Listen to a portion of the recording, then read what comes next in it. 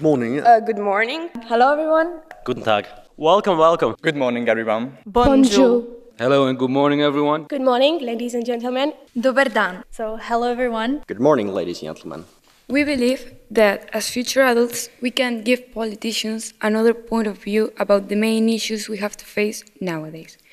We are a new generation with fresh new ideas, but with the same main values of cooperation and unity that we have learned from the European Union. Everything also shows how much uh, the notion of inheritance is at the heart of contemporary questions and nowadays these conceptions of, of democracy and political action and as, as young people uh, it's, it's important. Thank you very much. The value of a united Europe is of vital importance for us young students, as learning about other cultures and discussing upon political, social and educational topics can make us feel part of something bigger than just ourselves. Good morning, everybody. Welcome to the plenary of the European Parliament. Uh, it's an opportunity to have um, a dialogue with uh, 600, 600 uh, young people from 22 countries. My name is uh, Dimitris Papadimoulis. I am Vice President of the European Parliament. I come from Greece, and uh, we work closely with President David Sassoli and the other Vice President in order to serve our duties. I'm Philip from Slovenia. And I would just like to ask you, uh, why do you think that populism is bad? I think that populism, Philip, is bad because it's based in fake news. Let's, let's take an example. Uh, in uh, some countries, uh, there is a distribution of fake news, of hate speech there is a misuse of the reality and the truth.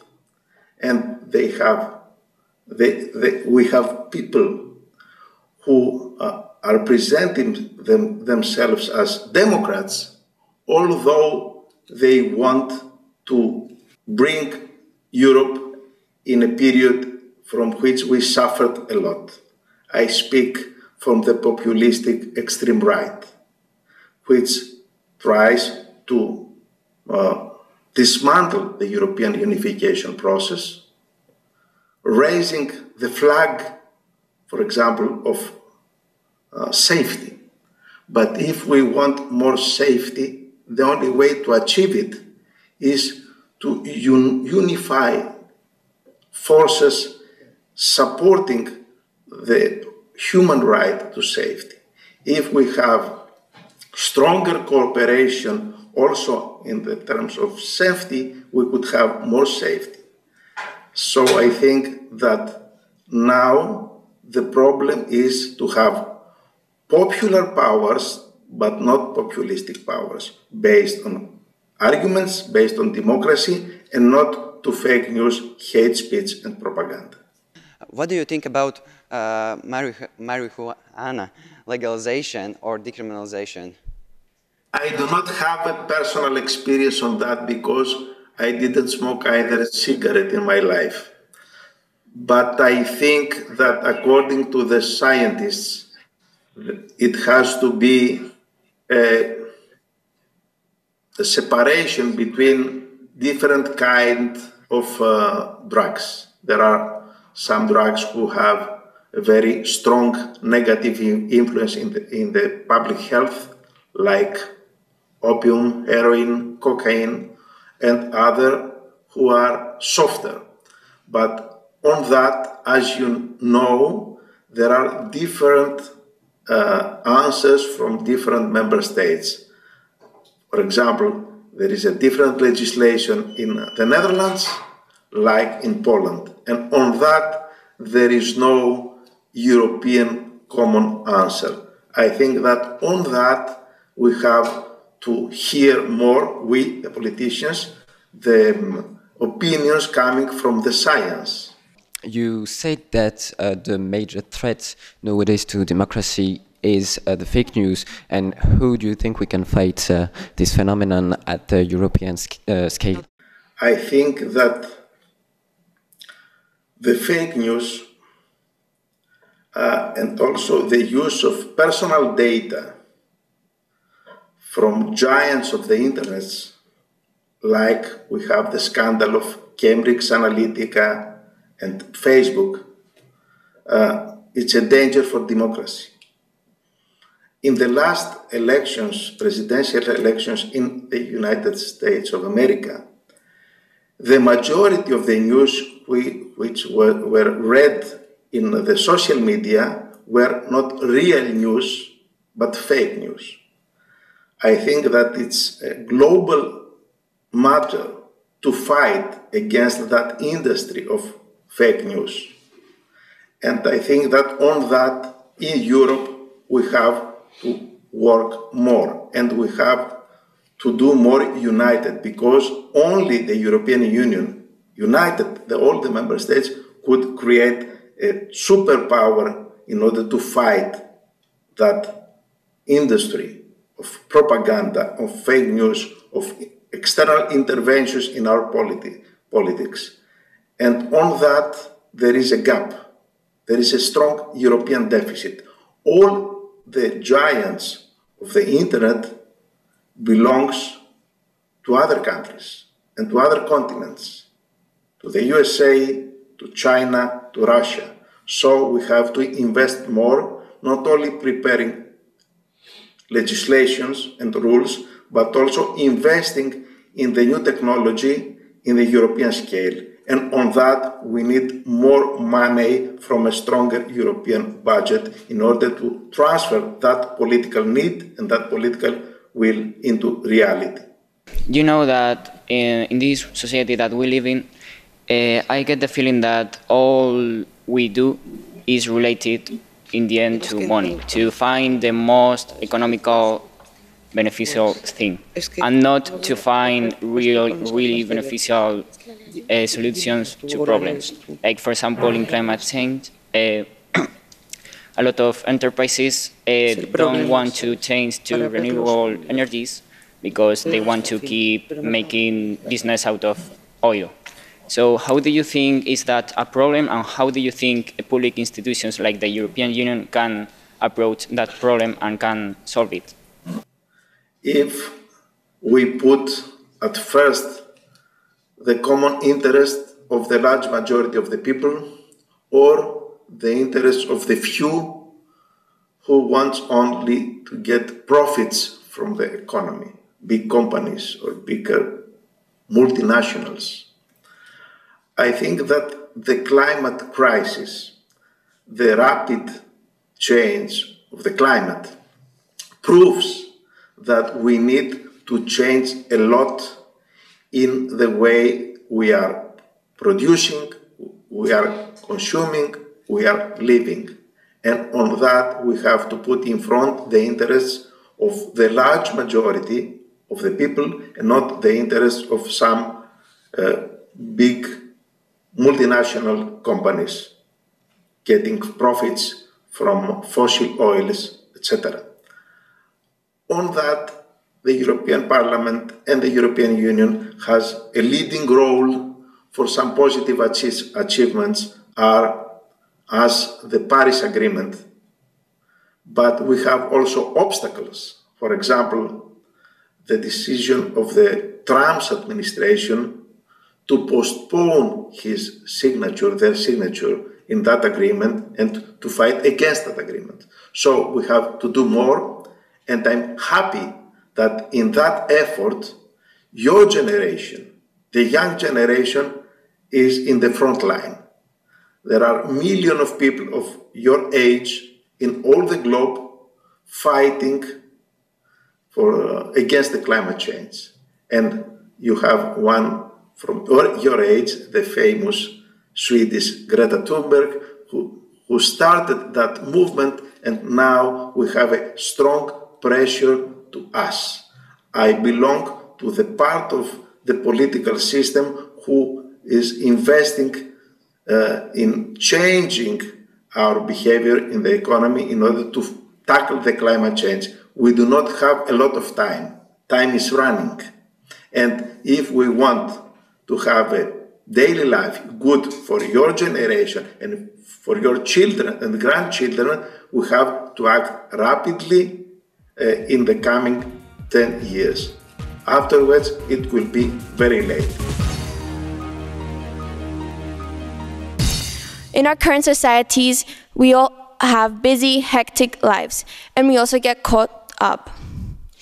A vast majority of people won't go out of their way to be sustainable. So we have to look, as the EU, we have to look at methods in which we can encourage people to have to live more sustainable lives.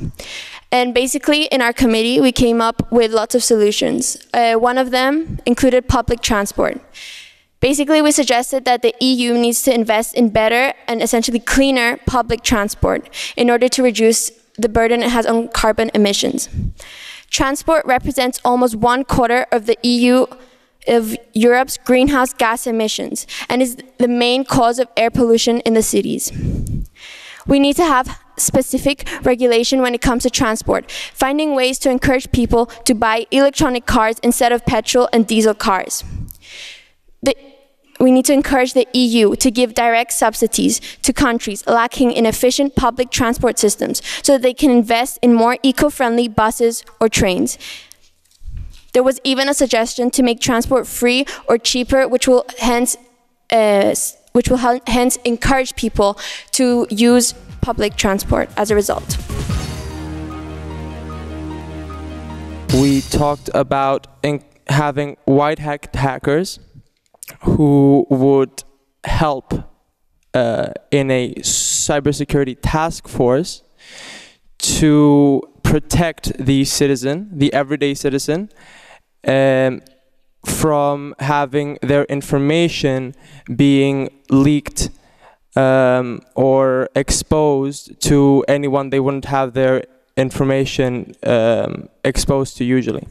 So that would include uh, medical information, etc. We, we also talked about information, and the right to information, and how we should deal with information online.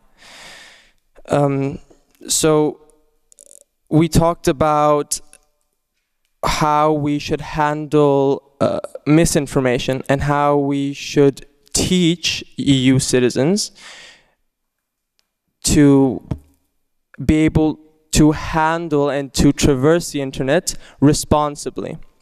So what we talked about is having courses in EU institutions that would teach EU citizens, um, students and elderly people alike, the dangers of the internet, raise awareness of uh, what they, the risks that they face when they uh, use the internet, uh, stress the importance of the internet in, in our lives and also how to use it responsibly. Oh, today, soft drugs are in most countries in the European Union uh, not legalized and they are also criminalized. But we came to the conclusion that soft drugs should be both decriminalized and legalized, and from a young age of 16. And we also spoke that while uh, we want to make it easier for people to find soft drugs in legal ways and get their needs uh, fulfilled, we also need to work more proactive, such as in schools, where we need to educate young people on the effects of drugs uh, and the negative long-term effects that it has. And today we see that when people uh, or young teens and youth uh, came, come in contact with this information, it happens in a very early stage, and therefore we need to uh, sp uh, speak about this earlier on in our development, so that when we are like in our early teens, we can get more information and be aware of what we're doing when we make the choice of like smoking a joint or so on. So that's very helpful. But we also need to work more with people who abuse drugs because today, when you have a substance abuse, you don't get faced with psychological help or medical treatment. Instead, you are sent off to prison where you most likely won't get help with your problem. But if you get medical help, you can continue as a pro productive member of society and actually contribute instead of feeling stigmatized and left out by uh, the community in whole. Uh, so that's the most important point. Um, so what we talked about, um, the main, the first proposition was extending the vote um, to those who are 16. Uh, the age gap has widened and it's more true now than ever um, that the different age groups have wide different needs. So it is important for us that also the, the youth is represented in the parliament and in all the other commissions, uh, in the commission as well. Um, the other issue that we talked about was uh, letting the citizen be more involved in the lawmaking process. Therefore, either let the Parliament of the European Union uh, make, law, make laws or let the citizen vote for the Commission. The third issue uh, was um, unifying the educational system by creating a whole new united, unified European educational system. Um, as we, as we uh, recognize that um, most of the economical, uh, social uh, inequalities can be traced back to the different uh, levels of education that countries can achieve. Um, so if we increase budgeting for that, then uh, as soon as they um, enter a country, the migrants are being treated properly and under the right conditions. And then they also do things such as psychological and medical evaluations um, of the migrants and give the support that is needed. We also believe that um, the children, the children migrants, so uh, underage minors, should be treated in a more careful manner. They should it should be more delicate process in order to not traumatize and hurt them uh, and not leave them with long-lasting fears or trauma. Um, and we believe that migrants should have the opportunity to learn the language of the country that they're in in order to help them migrate easier and smoothly. Um, and if they're young and they're still in formal education, we believe that they should be able to continue their education whilst in the country that they're uh, seeking asylum in or migrating to in order to not disrupt their education and they can be a future asset to the country as they're educated and will have a skill set that will enable them to be beneficial for the economy and the country in general.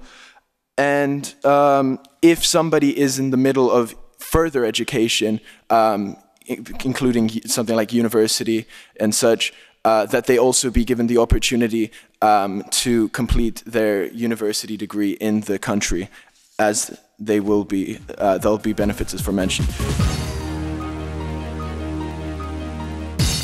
The third thing that we considered is student loans. So this is an option that is available in many countries, but many young people, students, are afraid to request a loan in fear of being in debt or not being able to pay it back. I can definitely understand this fear. However, if we make changes, this fear, I think, will disappear pretty quickly. The changes I mean are that when we take a student loan, we shouldn't be asked to pay for it right away. We should be asked to pay for it when we have, we have a stable and providing job, and we can afford to spend a certain amount of money each, each month in order to cover our loan. Uh, such student loan is uh, something that students can take advantage of until they step on their feet, uh, which will eventually happen when they find a stable job, as I said. And finding a stable job is a much more pleasant experience when you're not being pressured, uh, financially pressured, and when you're, not, when you're not in debt, and when you are not pressured into picking a job that is not right for you just because you need the money in order to make a living and in order to pay your student loan.